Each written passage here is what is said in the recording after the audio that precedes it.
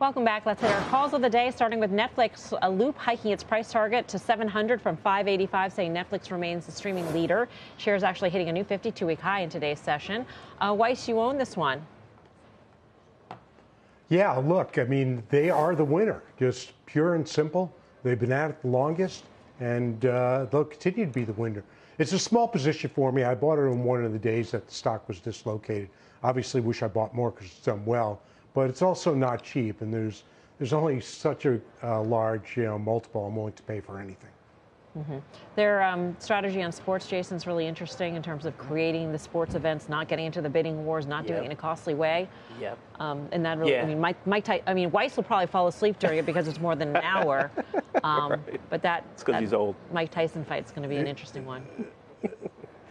no, I think I think Netflix has, has been an amazing winner here. I mean, I, to, to Weiss's point and, and, credit, I think it has been the undisputed winner.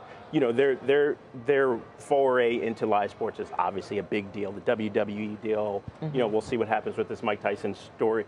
You know, fight. I think that'll be fun. But it, clearly, paid sharing, margin expansion. I, I like this name. Continue right. like it. Next up is FedEx. Barclays reiterating its overweight rating ahead of earnings this Thursday.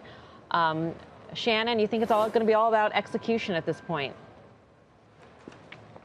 Well, I mean, I think a lot of emphasis has been placed, you know, from 2020 to 2023 on shifting goods volumes and uh, how much the the post-pandemic world uh, would really rely more on goods or services or that switch back. And I think if you look at the costs that FedEx needs to be concerned about, um, it's you know increased shipping rates and obviously what they have to pay for jet fuel and with the you know the recent sort of tick up on the energy price side, certainly not not anything overly concerning, um, particularly if they've they've hedged out appropriately at, at some of the lower prices. But I think on the on the execution side, whether it's FedEx or UPS.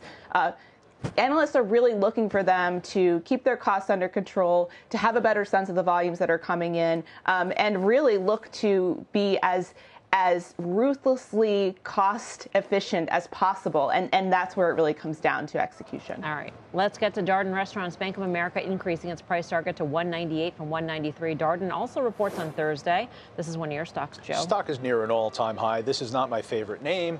Obviously, in consumer discretionary for casual dining a quick serve, I would go to Chipotle as the mm-hmm. favorite name. Uh, but you have to acknowledge Darden has traded remarkably well. It will report on Thursday. And I think what the street sees is that in 2024, they're going to have much better comps to work against. Store traffic down slightly in the prior month. That's priced in already.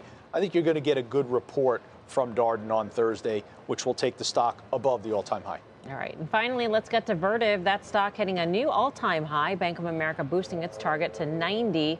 Weiss, you say you love this one. This is an interesting stock. It cools data centers?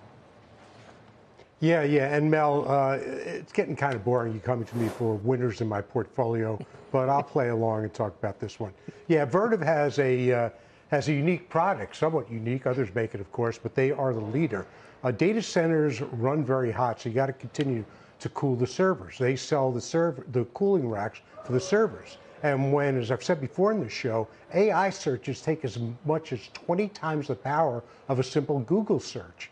AI data centers are multiple levels, three levels versus regular ones being one level. So the future for this company is very bright. It's growing earnings in the mid 20% level and EBITDA as well. So it's pretty attractive. It looks looks expensive on historical uh, standards, but uh, but it is a new generation in terms of what they're able to sell their uh, cooling racks for.